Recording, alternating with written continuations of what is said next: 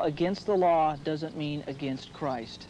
That's a real important thing for everyone to know. We heard so many rumors that people thought when they heard the song Against the Law that we were saying, Jesus, we want no more of you. We want no part of you. We are against you. That is not true.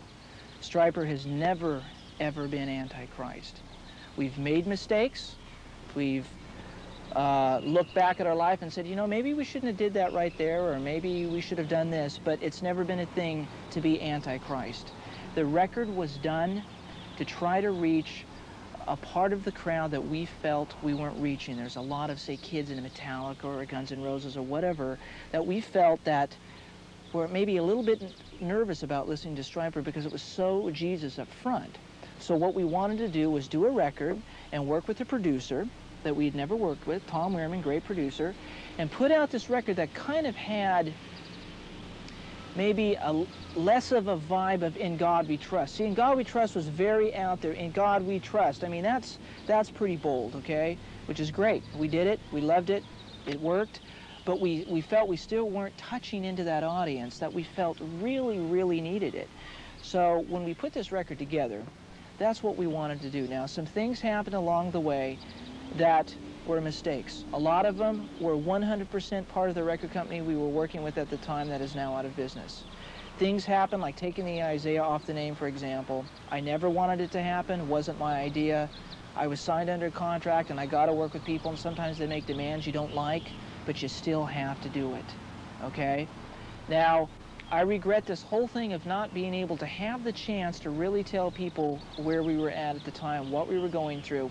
If most people knew, they'd be shocked. But the important thing to know is that uh, it was a learning lesson, and we were speaking on that record at the time what we were going through. We had I had a great time doing the record. I love the way the record sounds. I love the vibe.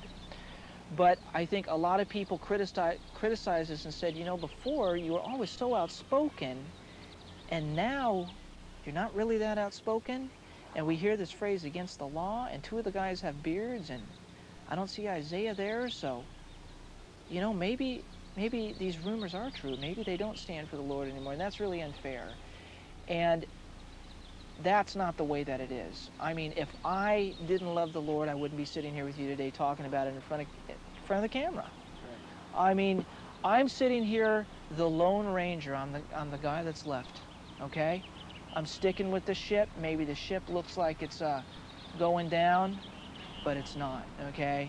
And I'm sticking with it because I feel that Stryper stands for something and it's more than just songs. It's more than an against the law, it's more than a to hell with the devil. It is standing for Christ. So, I tell everyone out there, against the law was never a thing to be antichrist. It was just rock and roll.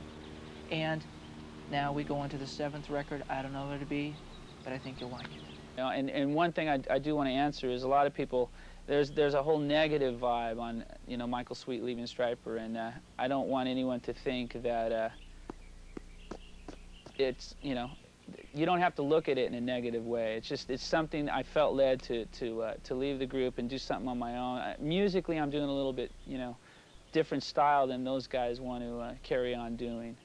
Uh, I think they want to carry on doing a bit of a heavier type vibe, and I'm doing more of a kind of like a Bryan Adams, uh, Bon Jovi type thing. So, but hey, you know, those guys are my bros. I love them and I support them. There might be a lot of you wondering what it was like to make a Stryper video, and uh, it was an experience. I tell you that it was it was hard work. It was it wasn't your typical video as far as there's a lot of especially these days there's a lot of in and out type videos you know you get in there and you, you bang it out and you get out and there's a lot of budget videos, lower budget videos. With Stryper, we uh, we spent a lot of money on videos. Uh, you know, it was high budget stuff, and we spent a lot of time on them. You know, many times we'd spend two days shooting. You know, I mean, full. There at you know 10 in the morning and not out of there till like two or three in the morning. You know, days, and it was it was really rough.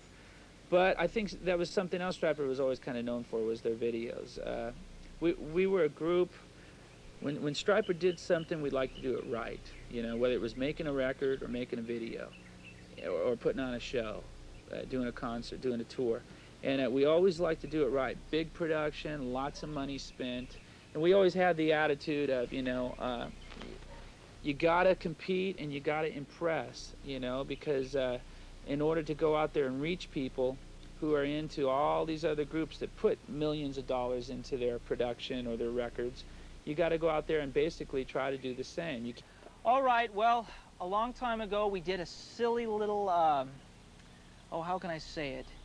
Uh, we had finished filming a video called Lady, and we were tired, the equipment was still set up, and the director said, look, let's kind of goof around a little bit here, and let's put on the song Two-Time Woman, and let's film you guys, and the remainder of the crew here kind of be taking things away, and I said, well, I thought, I don't know if that'd be really cool or not. Maybe it kind of looked funny or kind of stupid, but we did it anyways.